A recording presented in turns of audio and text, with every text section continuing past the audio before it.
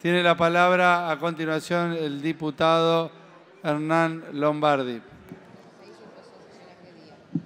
Muchas gracias, señor presidente. Es para plantear una cuestión de privilegio contra el expresidente Alberto Fernández y que entre todos los que usaron de su proximidad alrededor de él para encubrir los graves delitos que hemos visto. La cuestión de privilegio sobre Fernández, pero también sobre todos los que estuvieron alrededor de él. Las planillas de visitas a Olivos y a la Casa Rosada, aunque evidentemente amañadas y falsificadas, porque es evidente que había gente que entró que no quedó registrada, muestra una enorme red de complicidad alrededor de Fernández. Entonces, en el fondo hay que entender que el gran adversario es el cinismo y la hipocresía. No me voy a detener en las imágenes espantosas que todos vimos. Ya las vimos, ya las vio el pueblo argentino. No me voy a detener, señor presidente, en decir que el fiscal Ramiro González ya lo imputó. Lo imputó de lesiones graves, lo imputó de abuso de autoridad, lo imputó de amenazas. Pero no es detenerse en eso, ya lo saben los argentinos. Simplemente acá presto mi voz a lo que sienten millones de argentinos. Pero sí es la hipocresía y el cinismo. La hipocresía y el cinismo de los que vieron, de los que estaban alrededor, de los que vieron todos, muchos acá, acá presentes. Realmente nos van a hacer creer que nadie sabía, nadie vio los golpes. Por supuesto, los que estábamos encerrados, los que estuvimos encerrados ante la cuarentena, los que tuvimos que enterrar familiares o amigos sin poder acompañarlos, no sabíamos. Pero los que estaban al lado, sus colaboradores, no veían lo que pasaba. Muchos de acá conocemos perfectamente Olivos. Vemos las distancias que hay, sabemos las distancias que hay entre la casa donde vive el presidente y la ahora casa de huéspedes transformada en una mansión del terror. Realmente nadie sabía.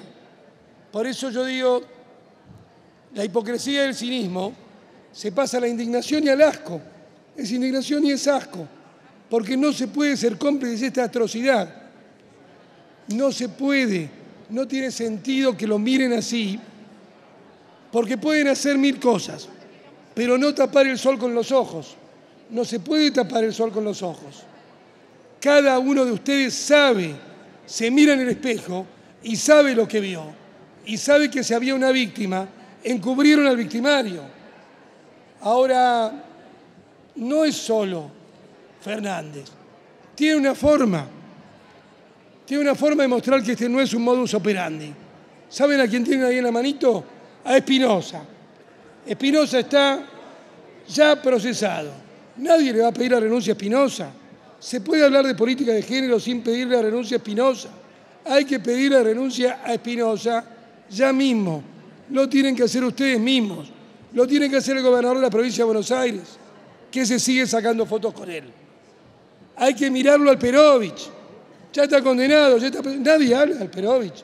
Pero ¿cómo puede ser? ¿No se dan cuenta que arrastran se arrastran, todas las banderas quedan arruinadas, pisoteadas, golpeadas por haber sido cómplices de la situación.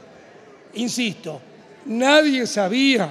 Nos podemos mirar todos a los ojos y decir, nadie sabía. Insisto, muchos veamos el registro de visitantes a Olivos. ¿Está el registro de visitantes? Sí. ¿A quién iba a ver? Al presidente. Sí. Al misma hora que estaba ella siendo golpeada? Sí.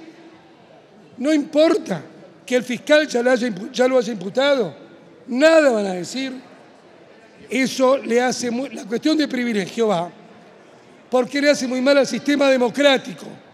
Muy mal al sistema democrático hace no admitir que los graves delitos cometidos no pueden ser encubiertos de la política, porque ellos de la política, ustedes la transforman, insisto, en un lugar de cinismo y de hipocresía.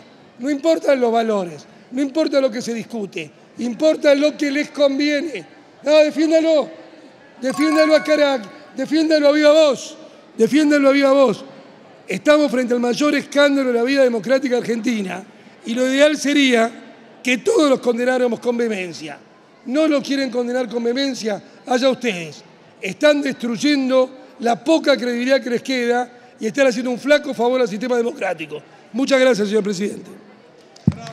Gracias, diputado Lombardi. La cuestión de privilegio planteada será girada a la Comisión de Asuntos Constitucionales para su posterior consideración.